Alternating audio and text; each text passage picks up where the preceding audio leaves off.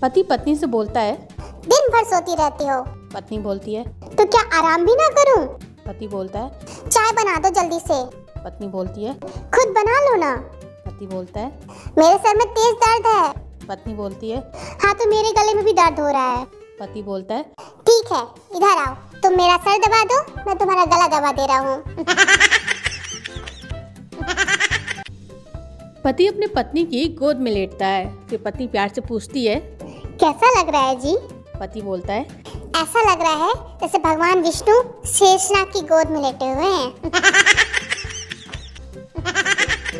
पति अपने पत्नी से बोलता है क्या हुआ है तुम्हें जो आजकल ना तुम सिगरेट पीने से रोकती हो और ना ही शराब पीने से? क्या तुम्हारी सब शिकायतें खत्म हो गईं? पत्नी बोलती है नहीं जी एल वाला परसों ही सब फ़ायदे बता के गया है। इसलिए तुम सब पियो। पति पत्नी और आशिक की दास्ता तो सुनिए। एक औरत अपने आशिक के साथ घूम रही थी। इतने में उसके पति ने उसे देख लिया और आशिक को पीटने लगा। तो औरत बोली मार साले को। खुद की बीवी को घुमाता नहीं और दूसरों की बीवी को घुमाने ले जाता है। ये सुनकर आशिक को गुस्सा आ गया। फिर आशिक उसके पति को पीटने लगा। फिर औरत बोली मार साले को।